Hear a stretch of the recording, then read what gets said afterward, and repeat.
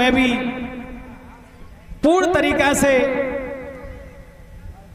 अच्छी तरह से नहीं उठा पाता उस धनुष को, और वही धनुष दो बच्चों ने तोड़ दिया। ये कोई साधारण बालक नहीं है। अब कंस राज को घबराहट होने लगी। इधर भगवान श्याम सुंदर पहुँचे नंद बाबा के पास, और जब नंद बाबा के पास पहुँचे सवेरा हुआ, सभी ग्वाल बाल जो है, आए हैं। कहाँ पर? जहाँ पर रंग साला बनी हुई थी, जहाँ पर सभी उनके मंत्री बैठे हुए हैं कंसराज के।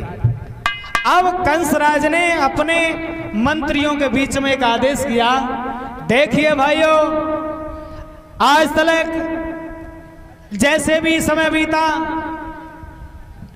सही बीता, लेकिन अब समय आ रहा है, वो आनाकानी का नहीं है, बल्कि कुर्बानी का है।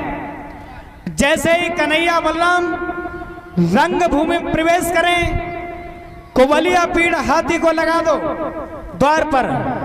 और जैसे ही वो द्वार के अंदर प्रवेश करें, वैसे ही मरवा करके खत्म कर देना।